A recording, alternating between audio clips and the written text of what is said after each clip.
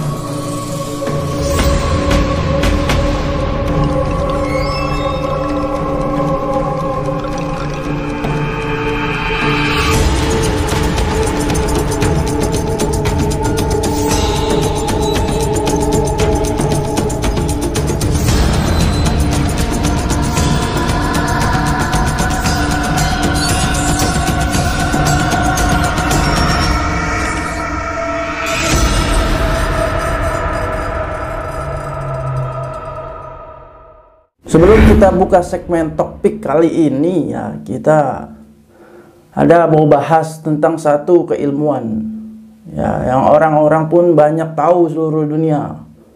Ya, ini disebut black magic ataupun orang Indonesia bilang itu santet. Ya, santet santet itu sendiri yang kita banyak ketahui ya.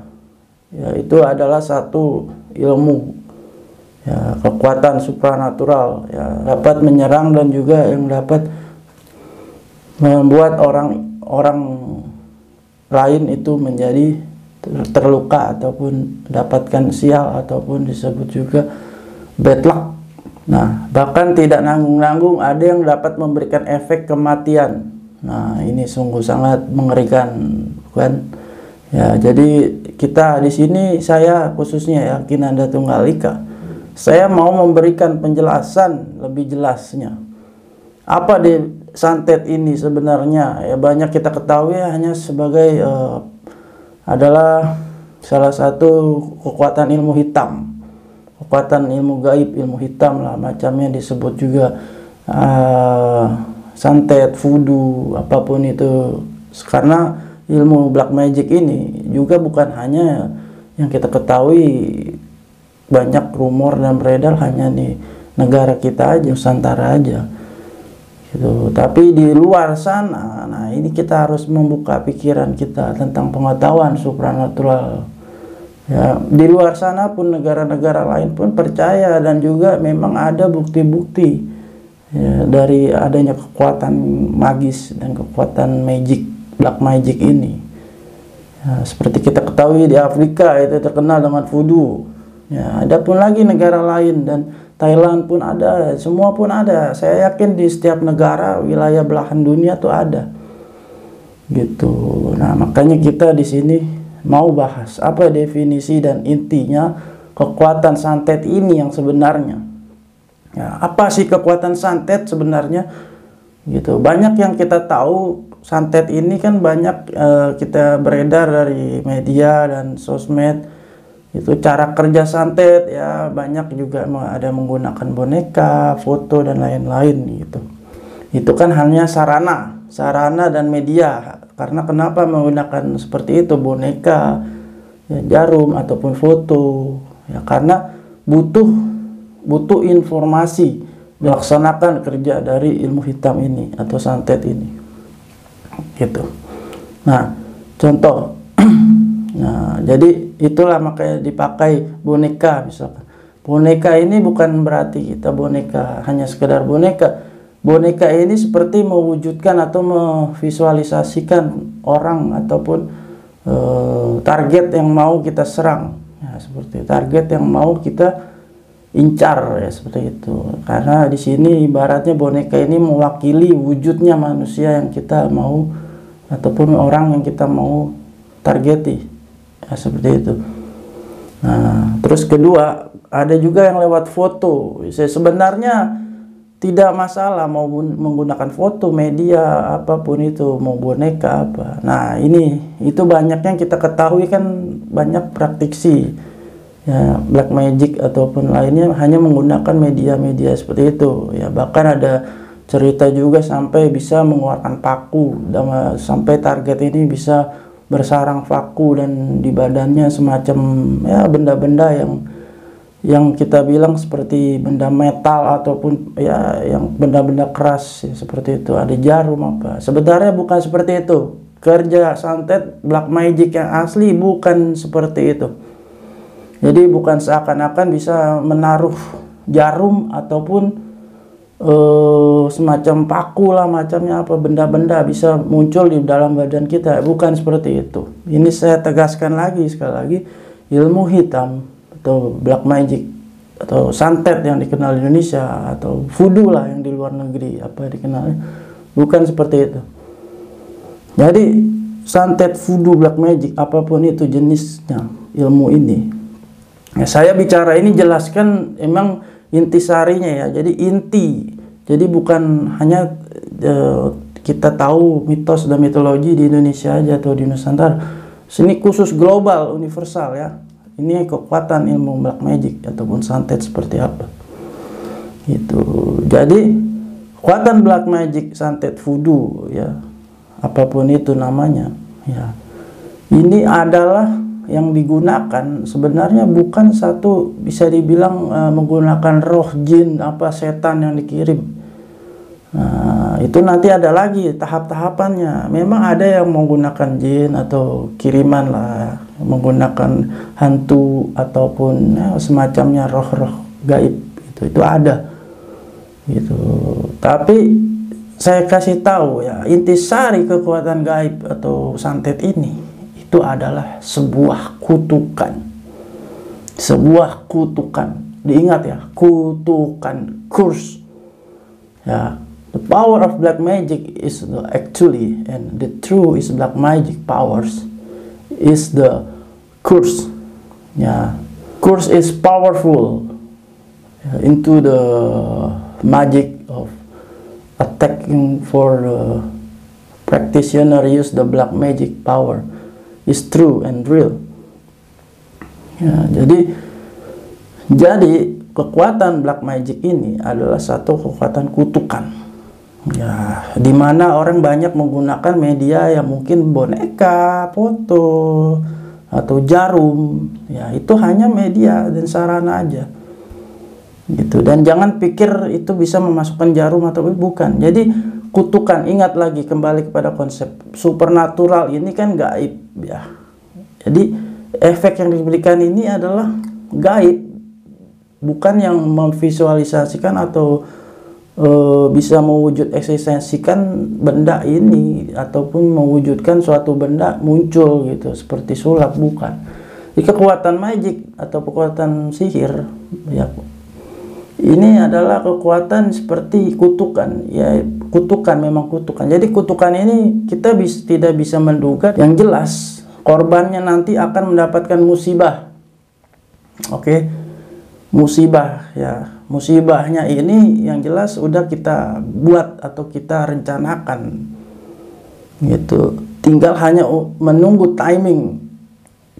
Ah ini ingat dalam kutukan atau ilmu santet ilmu sihir itu perlu ada namanya timing momen nah memang kita ketahui tahunya kita seperti katanya langsung bisa beraksi katanya kan. Eh, sekali dikerjakan langsung terasa di sana korbannya. Bukan seperti itu. Jadi ada timing waktu yang memang pas ketemunya bekerja kutukan itu. Dan mengenai diri seseorang yang kita tuju yang kita target. Nah, ini kembali lagi ke niat masing-masing. Apakah mau membuat kecelakaan ataupun mau membuat sakit, mau buat apa macamnya jenisnya. Tapi ingat, tidak ada kekuatan santet atau hitam atau fudu atau apa pun sihir jenis namanya di belahan dunia mana pun. Tidak ada yang jenisnya itu dapat memasukkan jarum ke tubuh korban, bahkan bersarang di tubuh korban. Itu tidak ada, jarum paku apa pun itu tidak ada gitu. Kutukan ini lebih tepatnya adalah memberikan kesialan atau apes pada diri seseorang. Nah itu. Kalau dalam bahasa Inggris disebut bad luck. Nah itulah. Bad luck ini butuh timing.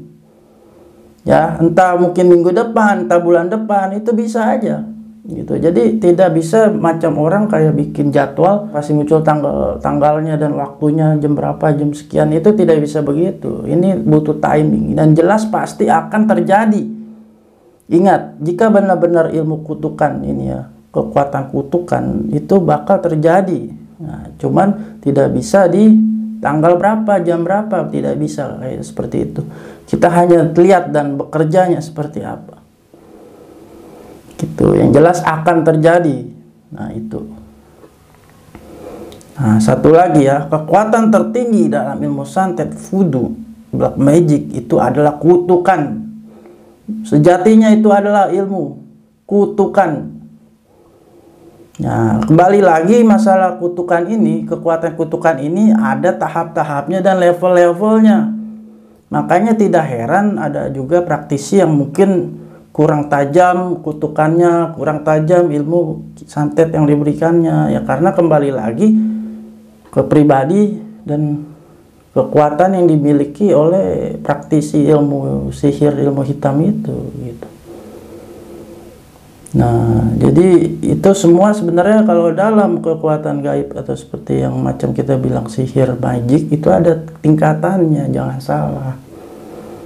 Nah, makanya walaupun banyak praktisi-praktisi supernatural di belahan dunia, itu kita tidak bisa bilang semua ini bisa sama kekuatannya ilmunya. Ya tidak bisa. Ada yang ilmunya cetek ada yang ilmunya serendah ada yang ilmunya tingkat tinggi.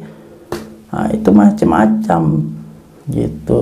Kalau yang memang tingkat tinggi jangankan tanpa menggunakan boneka pun, tanpa menggunakan media alat pun, dia sekali mengucap aja dan memberikan kutukan kepada orang yang dituju itu bisa terjadi. Jangan salah, ingat ini, saya kasih ilmu ini, pengetahuan. Mungkin orang selama ini tidak tahu.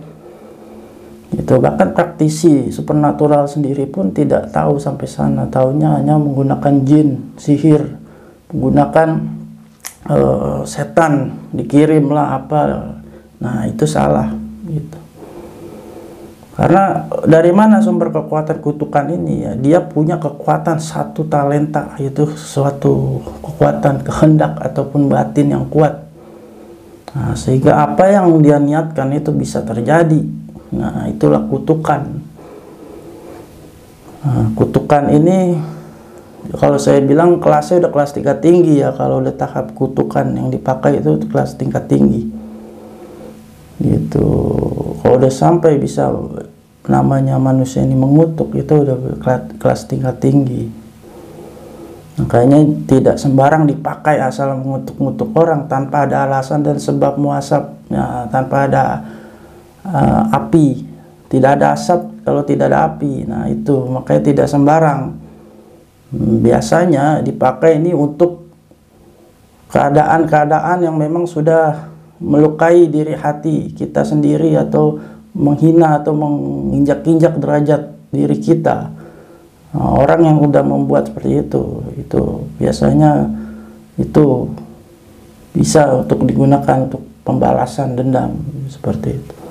Tapi kalau tidak ada muasab tidak ada sebab ya tidak itu tidak tidak layak untuk digunakan. Walaupun bisa digunakan tapi umumnya manusia hidup ini pasti ada sebab akibat gitu.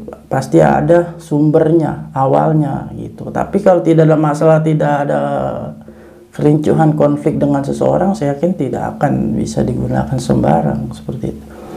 Bahkan khusus saya sendiri ya saya sendiri itu walaupun saya merasa ya saya tidak mau bilang saya punya ilmu. Tapi jika memang kadang hati saya sakit hati ataupun saya diinjak-injak derajat diri saya oleh seseorang atau siapa pun. Yang membuat saya benar-benar terluka. Gitu. Itu kemungkinan terjadi itu ada gitu. Kalau saya sampai mengucap ataupun mengutuk juga orang tersebut itu kemungkinan bisa 100% terjadi. Nah, tapi kalau saya orangnya, saya tidak mau menggunakan ilmu itu karena jika tidak terdesak atau membuat diri saya sakit, yang membuat diri saya terasa sakit gitu, saya tidak mau menggunakan itu. Nah, makanya kalau kita ini ibaratnya sudah tahu banyak apa tentang intisari dan poin-poin yang dalam tentang keilmuan supernatural ya khususnya dalam pengetahuan saya ya kayak gini saya ceritakan tentang santet, black magic, voodoo lah. Itu intinya semua kekuatan gaib, supernatural. Gitu. Di belahan dunia ini banyak banyak macam-macam belahan dunia. Itu semua punya. Namanya satu kekuatan dari kearifan lokal ataupun uh, satu kekuatan yang dimiliki oleh setiap setiap manusia talenta itu ada gitu. Nah, jadi kutukan merupakan kekuatan sejati dan kekuatan asli dari suatu kekuatan sihir atau black magic, voodoo, apa pun namanya di seluruh dunia ini. Ya, itu adalah kutukan. Nah, jangan main-main dengan kekuatan kutukan. Ini tidak ada obatnya. Saya kasih tahu, ini tidak ada obatnya. Ya, mungkin kalau selama ini kita tahunya kan kutukan itu uh, hanya kiriman setan yang dikirim apa ya mungkin dengan doa-doa ataupun eh, baca-baca uh, ya doa-doa yang kita yakini menurut keagamaan masing-masing itu jangan salah kutukan ini tidak bisa tidak bisa ditolak bala apa pun itu jenisnya. Ya karena kutukan ini suatu kekuatan yang bisa dibilang sangat tajam dan juga sudah menusuk ke dalam gitu. Jadi tidak bisa ditepis. Yang ada bisa tepis adalah itu permohonan maaf. Ya itu. Permohonan maaf. Karena permohonan maaf ini yang bisa menghentikan kutukan. Ya khususnya kita merasa kita salah atau telah merasa menantang ataupun apa pun jenisnya. Nah, itu kita bisa meminta maaf. Nah, kalau dia merasa tahu dia ada salah dengan orang itu atau pernah melukai ataupun pernah e, membuat kesalahan besar, nah, itu saran saya minta maaf lah, tidak apa-apa. Itu itu pasti semua akan berakhir. Tapi kalau kekuatan kutukan ini ditolak bala dengan cara lain itu tidak bisa. Percaya ya kecuali kategorinya ini kekuatan santet yang menggunakan sih yang menggunakan jin setan-setan antu gentayangan apa itu bisa mungkin ya. Tolak tapi kekuatan tertinggi ilmu santet adalah kutukan itu tidak bisa ada yang tolak balak nah ini kembali lagi kepada yang mengutuknya mau mau mengutuk macam apa? Sakit kecelakaan musibah. Ya bisnis bangkrut apa itu bisa? Tidak yang tidak mungkin Nah ini cuman kategorinya levelnya udah level tinggi, bukan level yang kaleng-kaleng yang baru-baru coba belajar ataupun ya baru-baru mencoba masuk ke dunia gaib, ke dunia keilmuan gaib. Ya seperti itu aja. Nanti mungkin saya akan banyak buat video-video lagi tentang uh, penjelasan dan menguak dan menjelaskan hal-hal yang mungkin uh, jauh. Yang tidak diketahui oleh orang-orang di luar sana, orang-orang awam juga. Praktisi-praktisi spiritual supernatural juga mungkin tidak tahu rahasia-rahasia misteri yang selama ini. Apa sebenarnya kekuatan ini, apa sebenarnya keilmuan ini, ya dari mana dan asalnya apa. Nah, di sini adanya channel saya dan konten-konten saya itu mau membuka itu semua dan menjelaskan itu semua. Karena pada sumbernya supernatural ilmu kegaiban ini bukan hanya berfokus pada satu titik tempat tertentu. Supernatural spiritual ini luas menjangkau luas. Apa pun yang ada di kehidupan di bumi ini itu menyakup isi dari spiritualitas kita gitu. Makanya banyak orang yang menganggap hanya uh, memahami pengetahuan supranatural dan keilmuan ataupun pemahaman spiritual itu hanya terkurung pada satu tempat saja. Padahal dia tidak tahu di luar sana masih juga pun ada gitu. Toko-toko juga yang yang punya keilmuan yang jenisnya macam-macam bahkan yang unik dan aneh dan mungkin sakti dari kita ada jangan salah gitu. Ya di sini makanya saya memberikan pengetahuan yang luas ya khususnya edukasi dan juga penjelasan penjelasan tentang kegaiban keilmuan supernatural dan spiritualitas. Oke terima kasih. Itu aja para penonton. Kinanda Tunggal Ika di sini uh, saya ucapkan terima kasih. Udah subscribe dan yang subscribe subscribe. Yang belum tolong subscribe ya supaya bisa membantu konten saya ini lebih maju ya gitu. Dan lebih membuat saya semangat untuk berkarya. Oke terima kasih para penonton dan fans Kinanda Tunggal Ika. Saya undur diri dan pamit. Terima kasih